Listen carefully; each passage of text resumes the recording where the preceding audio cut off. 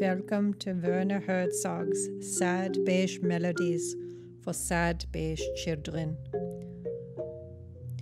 The itsy bitsy spider climbed up the dark abyss of the water spout. He represents the Sisyphusian futility of us all as we strive to escape the suffering of existence, only to be humbled by the uncontrollable forces of the elements.